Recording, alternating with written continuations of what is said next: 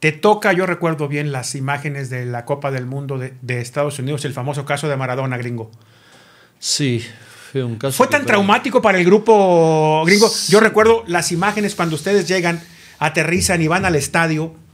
Se veían todos como idos, gringo. Sí, porque fue un golpe fuerte, porque él venía trabajando muy bien, le hacía doble turno, estuvo con nosotros en Newell y él había adelgazado mucho, estaba muy flaco y, y lo engordan un poco más en la selección. Y también era un negocio para, para FIFA y para todo, ¿no? Que Maradona esté, esté en un mundial. Bueno, él siempre lo dijo, eh, me cortaron las piernas. ¿Cuántos años duraste con Rubén? Muchísimo. 2013, 2014. Porque mientras que estamos, bueno, la última vez fue cuando Rubén agarró el Atlas acá, Exacto. que bueno, hubo un problema ahí, yo no fui. Ah, claro, ya me acordé.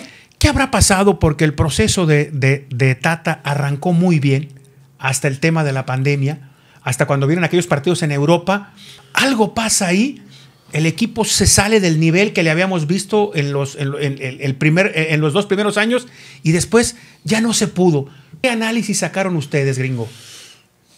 Nosotros llegamos bien los primeros partidos, los primeros torneos de los, como dijiste vos, pero en el mundial no llegamos bien.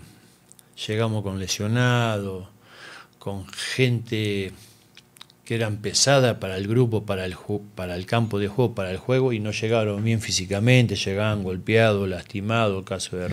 Y para nosotros no, no- para nosotros no llegamos bien. No llegamos bien ni mentalmente ni físicamente, por la cantidad de lesiones que venían desde afuera, no eran nuestros, porque si nosotros tratábamos de recuperar. ¿Se equivocaron dejando fuera a Chaquito, Laines y el chiquito de Pachuca o no? Mira, ah, lo que pasa es que se habla mucho del Chaco Jiménez, Pa- pero ¿Por qué los expuso la federación a ustedes, cuerpo técnico, a traerlos y que salieran en un aeropuerto repleto de aficionados iracundos? Sigo sin entender esa parte, gringo, cuéntame. no, no, nosotros tampoco, porque nosotros siempre cuando llegabas al aeropuerto vos salías por puertas alternas. Con- Sí. me, pa- me parece, gringo, para, para todos ustedes un golpe muy duro, ¿no? Para, para el profe, profe lo vi al final del partido, la Sí, verdad, triste muy abatido. porque nosotros pensamos de que podíamos hacer eh, mucho mejor papel, porque en definitiva no teníamos que pelear por el, el- el quinto partido, a veces llegamos al quinto partido. El fracaso nuestro fue no ganarle a Argentina.